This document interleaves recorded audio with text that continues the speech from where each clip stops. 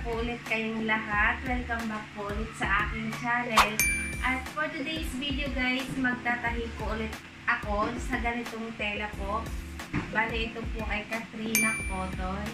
Ito po. Tatabasin ko po muna ulit siya. Tsaka ito po, bali dalawang klase po siya ng tela. Ito po ay Gina. Gina Cotton po ito. Tapos itong isa, Katrina Cotton. Pero parehas lang po yung kulay niya. So, ito po ay order na po ulit. So, ayun guys. Start po akong magtabas ulit dito sa sahig.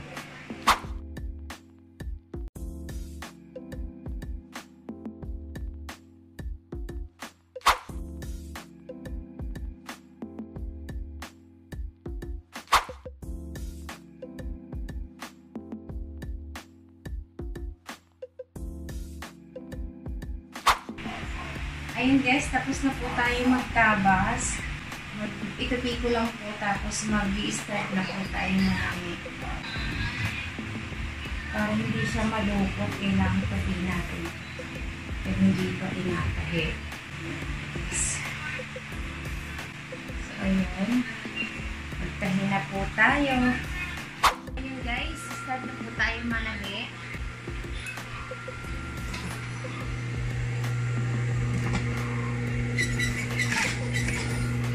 Bali, ang atin pong tatahiin ngayon ay bali 11 panel po siya. Tapos suksok lahat po. Ayaw niya ng ring. Tulad ng sabi ko po kanina, order na po siya lahat.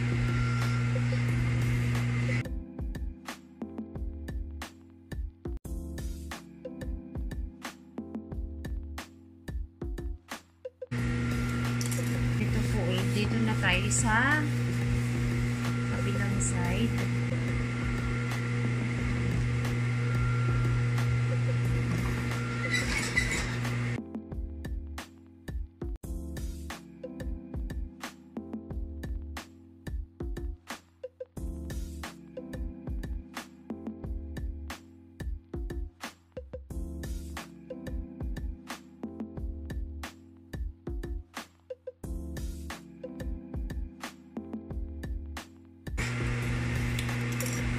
Nandito na tayo sa ano, sa tupi na dito idadaan yung bakal. Bali, suksok yan. Dito siya isusuksok. So, sukat nito ay 3 inches. Yan, 3 inches yung lapad niya. Kasing lapad din po siya ng ring. Ayun, tatahian na natin dito.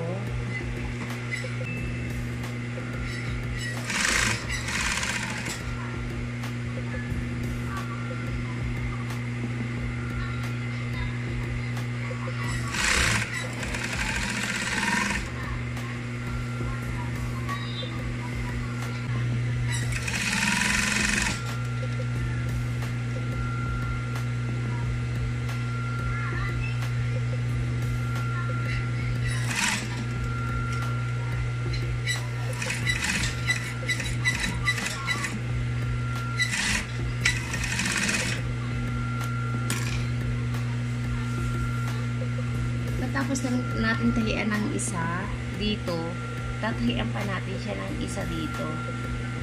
Dito isa pa.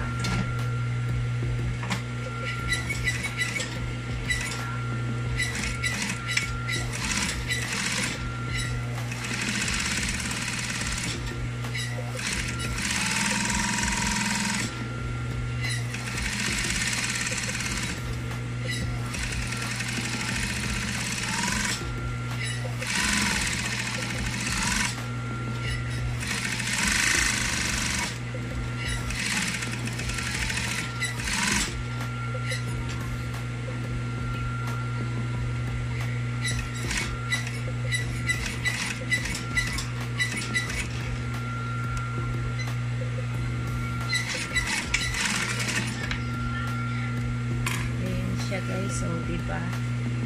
Maganda. Tapos, tatahian pa ulit natin dito ng isa. Bali, dalawa din. Isa dito, isa dito. Parang ganito lang din siya.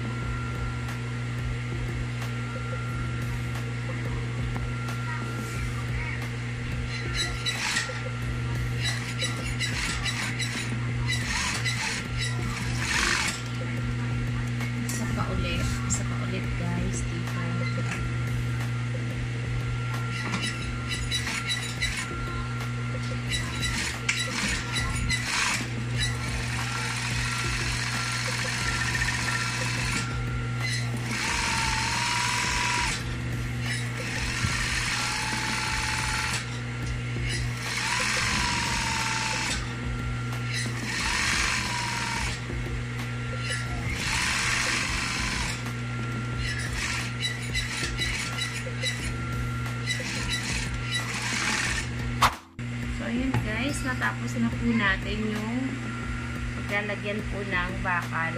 Ayun, dyan siya isuksok yung bakal sa gitna nito. Ito, salit na rin yung ginawa natin. Yung ganitong suksok kasi ito po yung request ng ating customer. Kaya yan yung pong ginawa natin. Tapos na tayo ng isa. Isang panel. So, ayan guys. Na po natin ang 11 panels na ano, cortina, naka 3 na cotton. So, pakita ko lang guys na ito po yung ito po yung harap. Ayan, ito po yung harap. Ito po yung likod. Kasi ang request po ng ating customer ay suksok or tupi lang. Kaya ang ginawa po natin ay yung gusto niya. Kaya, ayun. Maraming maraming salamat po ulit sa mga nanonood po ng aking video at sa mga hindi pa po nakaka-subscribe pa. Please, subscribe, like, and share na rin po. At maraming maraming salamat po sa inyong lahat. See you po in my next vlog. Bye-bye!